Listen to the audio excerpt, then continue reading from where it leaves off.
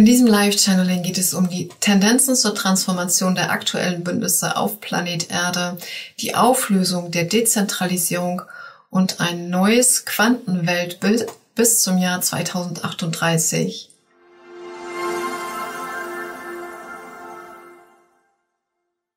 Ja, hallo und herzlich willkommen beim Live Your Spirit Channeling.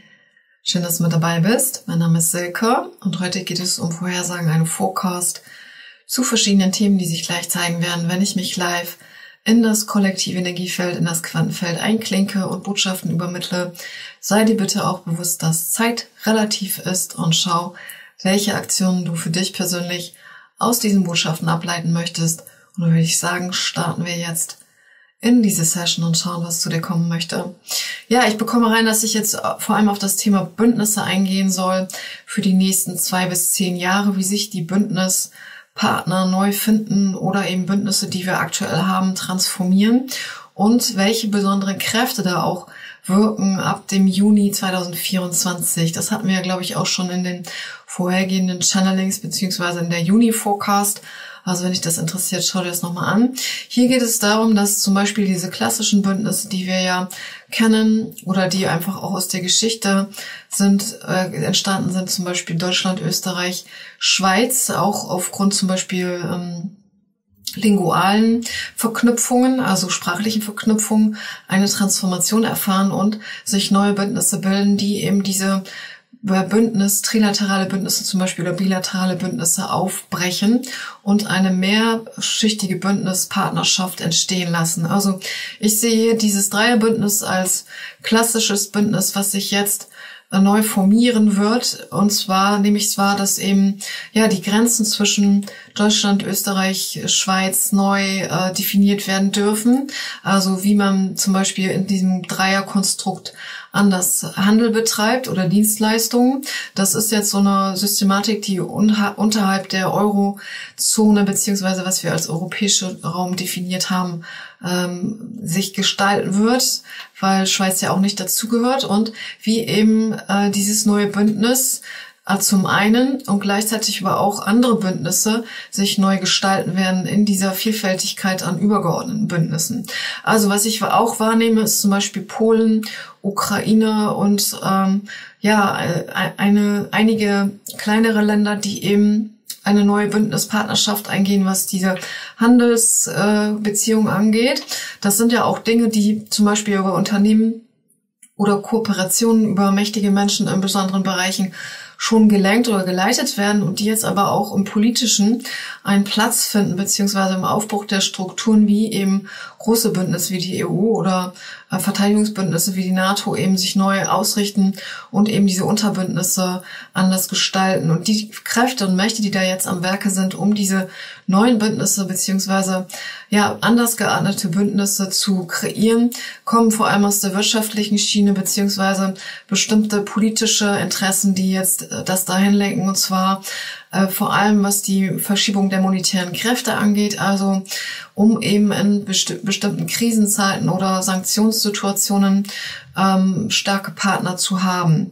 Das ist ja alles auch ablesbar, beziehungsweise hat sich das ja so entwickelt in den letzten fünf Jahren, so nehme ich das wahr und wird jetzt die nächsten fünf Jahre, fünf bis zehn Jahre intensiv beeinflussen, wie eben ja, Monopolstellungen von bestimmten Staaten sich auflösen, beziehungsweise bi- und trilaterale Bündnisse eben mehr in den Fokus rücken. Das ist ja auch zum Beispiel dieses BRICS-Bündnis. Danke nochmal für den Hinweis da mit dem äh, BRICS. Ich hatte das als in der letzten Forecast als BRIC bezeichnet. Es sind immer so viele Begriffe, die ich dann äh, mir anlese beziehungsweise mich beschäftige. Was kommt dann wieder auch aus meinem Feld? Also wenn du da eine Ergänzung hast, wenn ich da irgendwas falsch ausspreche oder etwas äh, nicht so kanalisiert wird, wie es in der materiellen Form ist, dann schreib das gerne unten in die Kommentare. Wir sind ja offen für Optimierung und freuen uns über Feedback. Also das BRICS-Bündnis und ja andere Bündnisse, die ähm, im wirtschaftlichen Bereich geschlossen werden. Das ist jetzt schon so ab 2025, 2026, die eben diese bilateral, bilateral trilaterale Bündnispartnerschaft ähm, stärken und über Grenzen hinweg weg im Handel auch auf der gesetzlichen Ebene neu sortieren. Ja, was ich reinbekomme, ist, dass man äh, jetzt unter zum Beispiel dieser Federführung von BRICS äh, auch neue Bündnispartnerschaften, wie zum Beispiel dieses Dreierkonstrukt da, was ich eben genannt hatte, oder ähm, Polen, Ukraine und Slowakei bekomme ich rein, Tschechien. Also das sind alles so Länder, die sich neu ausrichten und auch aufgrund der ja, um Umwälzung in den demokratischen Prozessen äh, bitte hier nochmal für sich nachfühlen, was ist eigentlich Demokratie, weil wir ja letztens einige Anmerkungen hatten. Ich kann das jetzt nicht in der Tiefe darauf eingehen, was demokratische Strukturen sind, weil viele eben denken, demokratische Strukturen existieren auf diesem Planeten nicht mehr. Das ist meiner Meinung nach anders, aber es gibt ja auch die vielfältige Meinungsfreiheit. Von daher hier die demokratischen Strukturen, die sich jetzt neu verbinden in den unterschiedlichen Bündnissen und wo eben Handel und monetäre Kräfte sich anders lenken, das sind so die Tendenzen, die jetzt ab Juni 2024 wirklich ersichtlich werden und konkret durch ja die verschiedenen Schichten, die sich öffnen in der Europawahl beziehungsweise die Ergebnisse der Europawahl und äh, auch in den ähm, Aktionen und rebellionisch, rebell, rebellischen Energien in den einzelnen Staaten, also in den Aktivisten und ja die verschiedenen Gruppen, die da gegeneinander kämpfen. Und gleichzeitig, was ich auch wahrnehme, ist eine große ähm, Energie der Transformation der Führungsrollen, also Führungsregen. Das meint zum einen, wie eben Führungs Führungspersönlichkeiten in den Staaten, die ich gerade genannt habe, beziehungsweise im europäischen Raum, äh, sich äh, anders ausrichten dürfen, natürlich aufgrund der Zwangslagen, die wir aktuell haben, dann ähm, Bündnispartnerschaften, Sanktionen, monetäre Kräfte, die sich verschieben, Wirtschaftskrisen und so weiter. Und gleichzeitig sehe ich aber auch einige Bündnis, äh, eine Regierungsführung, die Regierungsführende, die in bestimmten ähm, Ländern abge äh, also verschwinden, abtreten beziehungsweise rück zurücktreten. Das sind jetzt vereinzelt Persönlichkeiten, das haben wir auch schon gesehen und können zum Beispiel auch ähm, Menschen betreffen, die jetzt aus ähm, in in bestimmten Systemen doppelt besetzt sind. Das heißt zum Beispiel in ja wie in England eine äh, Monarchie und dann äh, mit Parlament und so weiter. Also all diese ähm, bestimmten Regierungsformen, die sich jetzt neu transformieren und wo eben Persönlichkeiten verschwinden beziehungsweise neue auf den Zettel kommen. Das ist ja auch alles ablesbar, beziehungsweise sehen wir das ja seit zwei Jahren. Aber der Juni 2024 zeigt die Richtung an und wird bis zum Jahr 2026 alle Staaten erfassen, die jetzt so, ich sehe den europäischen Kontinent, aber auch ja weltweit, global, das wir jetzt ja die ganze Zeit sehen und natürlich immer auch in äh, Verbindung mit dem Thema Judikative, also äh, Gerechtigkeit, Rechtmäßigkeit von politischen Aktionen und Regierungsführenden. Dann das große Thema, wie die Dinge ans Licht kommen, was da alles für ähm, bestimmte Abmachungen oder Machenschaften waren. Das sind all, oder sind, das sind alles Themen, die ja jetzt aktuell auf dem Zelle sind und auch nicht neu sind und die sich weiter fortsetzen werden. Was eben interessant ist jetzt für die nächsten zwei Jahre, ist, wie diese Bündnispartner beziehungsweise Bündnisse eben sich neu ausrichten, weil sie ganz ähm, zum einen sehr miteinander, untereinander handelt, arbeiten, gleichzeitig sich aber den Raum öffnen für internationale Beziehungen. Also es ist das, was ich auch schon in anderen Channelings immer wieder gesehen habe, dass eben wir uns in die Vielschichtigkeit von Bündnisse öffnen und ähm, gar nicht mehr so ganz genau ersichtlich ist, wie viele Bündnisse zum Beispiel ein Land hat, in welchem ähm, Zusammenhang. Es gibt ja Bündnisse, die politisch motiviert sind und natürlich da auch immer andere äh, Interessen dranhängen, aber gleichzeitig auch Bündnisse, die wirklich nur für einen ähm, für eine bestimmte Thematik geschlossen werden. Und das sind Dinge, die sich jetzt multidimensional öffnen beziehungsweise ex parallel existent sind. Und hier spielen natürlich die Regierungsführenden einer besonderen äh, eines besonderen Staates eine wichtige Rolle. Es ist jetzt zum Beispiel Deutschland auch Bundespräsident. Da bekomme ich ran, da wird es auch eine Transformation des Amtes geben. Das sehe ich ab 2025. Dann, wenn diese Bundestagswahl kommt und ähm, neue, neue Dinge, die jetzt ab 2024 sehe, August 2024 äh, bis zum äh, August September 2025 sich transformieren.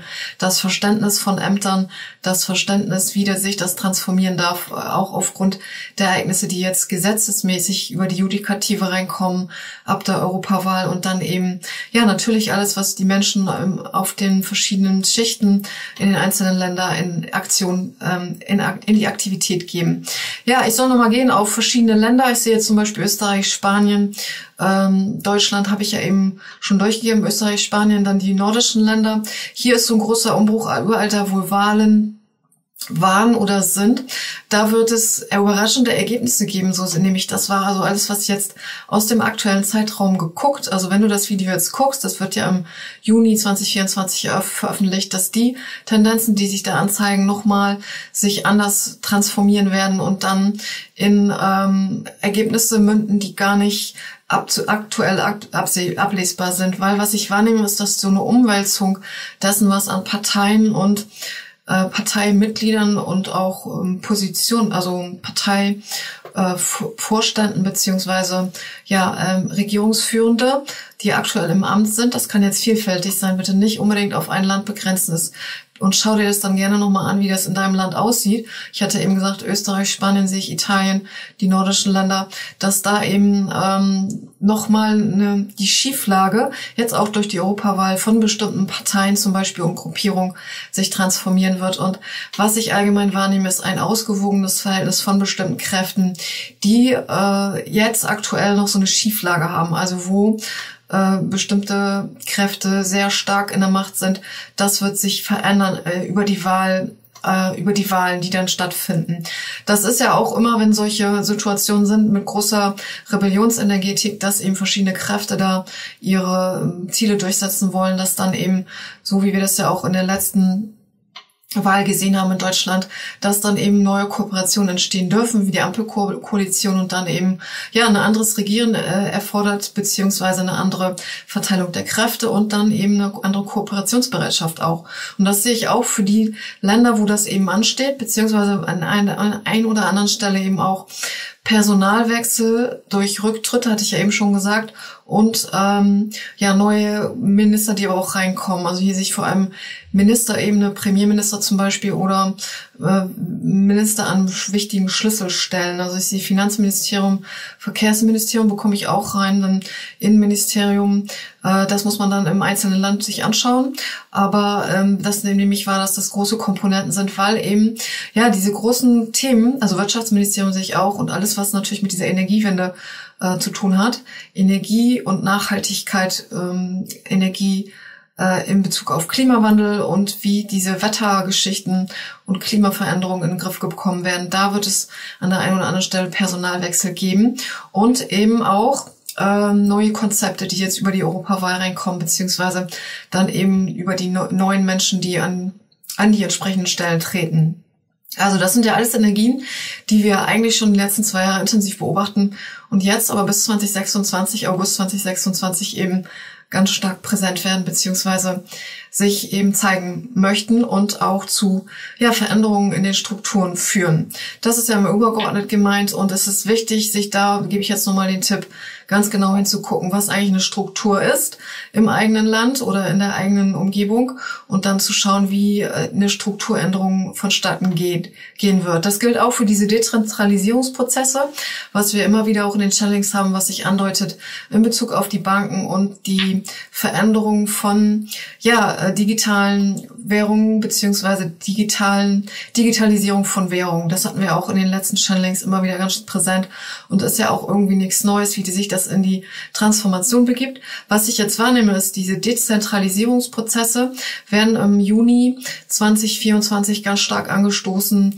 über die natürlich Europawahlgeschichten und alles, was da auch politisch sonst passiert. Ich sehe vor allem europäischer Raum und USA ganz stark. Wir hatten jetzt ja auch dieses äh, Thema mit der Verurteilung und äh, in den USA von einer Führungspersönlichkeit. Und das sind so Dinge, die eben natürlich ganz stark beeinflussen und auch gleichzeitig die ähm, Kräfte in, in Schwankungen bringen, was die finanziellen ähm, Flüsse angeht. Also hier ist die, das Umschiften und das Umschichten von Geldern beziehungsweise monetären Kräften, kapitalmarktwirtschaftlichen Strömungen, nicht nur durch das, was in dem Prozess zum Beispiel rausgekommen ist, sondern auch, wie eben äh, das dann auf die Wirtschaft wirkt und ja, Unterstützer beziehungsweise Gegner und wo eben diese ganzen Gelder dann auch äh, in andere Bahnen gelenkt werden dürfen, weil was ich reinbekomme, ist auch Veränderung von bei Wahldurchführung und äh, ja Manipulation von Wahlen und Wahl äh, also überhaupt wie jemand gewählt wird, die der ganze Prozess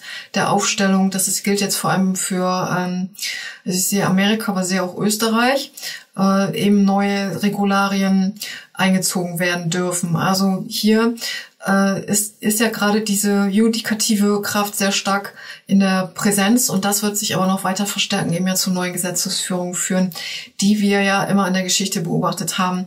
Und diese Dezentralisierung, jetzt kommen wir mal auf die Banken, beziehungsweise das große Thema Dezentralisierung wird eben ab, ja, es ist August 2024 wirklich dann auch greifbar sein. Also was eigentlich Dezentralisierung in der politischen äh, Richtung, auf den unternehmerischen Schichten in der Gesellschaft eben bedeutet, nicht nur durch Digitalisierung, äh, KI, die große Macht von Social Media und die große Macht von KI und Rationalisierungsprozessen, sondern gleichzeitig auch, wie dadurch dezentral anders gesteuert und gelenkt wird. Kann ich mal bitte wissen, was ich dazu noch durchgeben soll?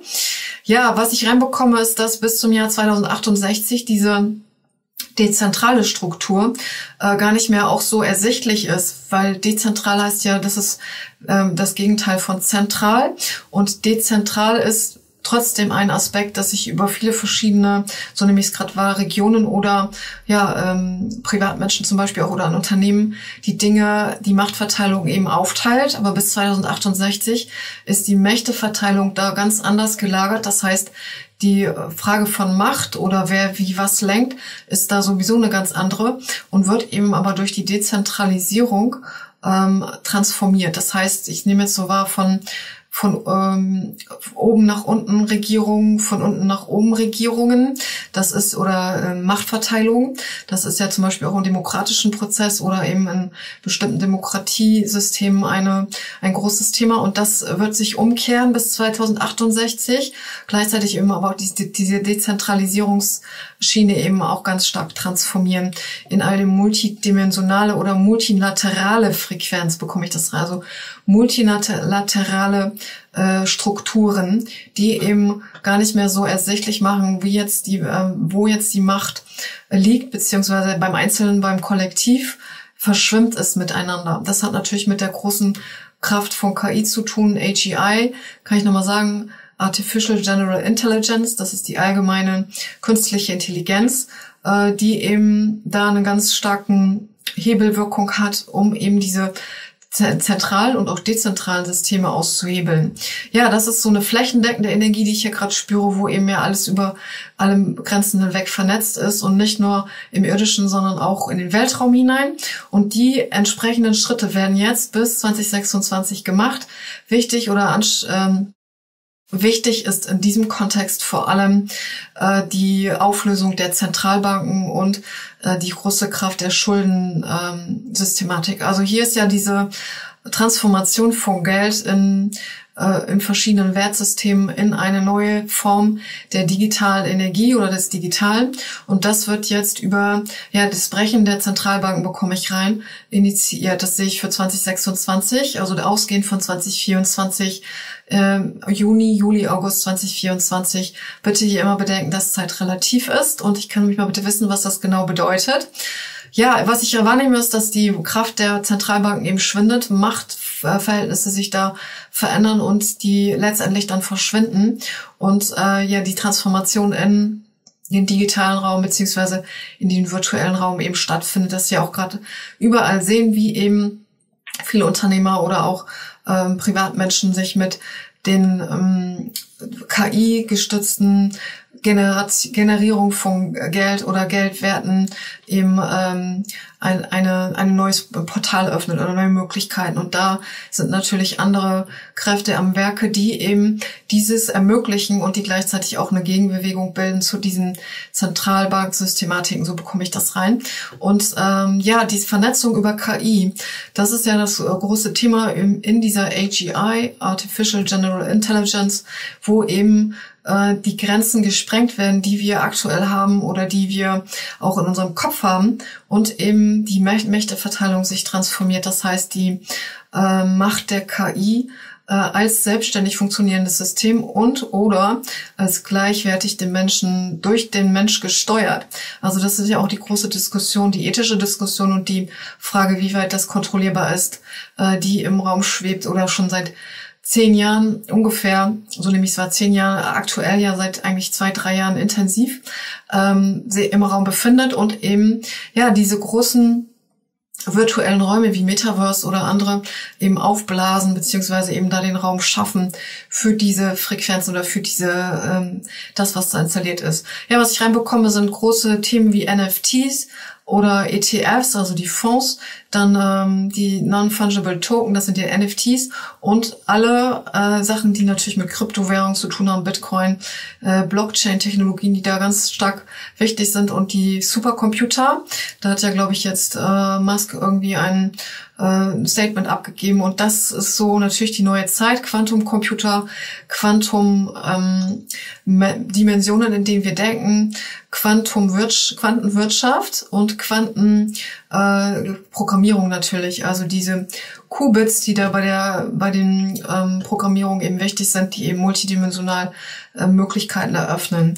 Also wenn dich das interessiert, dann recherchiere das nochmal gerne nach, beziehungsweise gab es da auch in einigen Channelings, habe ich das durchgeleitet. Ich bin dann nicht so in der Tiefe bewandert, aber habe mich da ein bisschen mit beschäftigt. Und das sind so die Frequenzen, die ich da spüre, die jetzt für ja 2022, äh, von 2022 bis 2026 ja diese große Umwälzung im digitalen Zeitalter ermöglichen und ähm, auch diese Auflösung der Dezentralisierung andeuten. Wir sind ja eigentlich erst gerade dabei, Dezentralisierung zu vollziehen, aber auch die Auflösung Tendenz, Auflösungstendenzen sind ja äh, ablesbar und genau auf die wird es dann auch ab 2038, so bekomme ich das rein, ankommen. Also auf die ähm, Auflösung der Dezentralisierung in eine multizentrale Energie der Quantum, ja, des, des Quantum-Daseins, Quantum-Dimension, Quantendimension, so bekomme ich es rein. Ja, das waren jetzt, glaube ich, alle Informationen für dieses Channel. Gibt es irgendwas, was ich noch mal durchleiten sollte? Nein, das waren jetzt alle Informationen. Das heißt, du schau dir gerne auch die anderen Forecasts an, die wir gemacht haben für diesen Channel. Ich wünsche mir für dich, dass es dir dienlich sein mag. Schau dir gerne an, wie wir sind als Spiritual und Mental Healer Channel Medium und Coach. Wir haben einen großen Shop mit verschiedenen Angeboten, die vielleicht für dich an interessant sein mögen. Und ja, dann würde ich mich freuen, wenn wir uns wiedersehen hier auf dem Kanal von Live Your Spirit. Lass gerne einen Daumen hoch da, wenn es dir gefallen hat und abonniere unseren Kanal. Bis zum nächsten Mal. Dankeschön. Tschüss.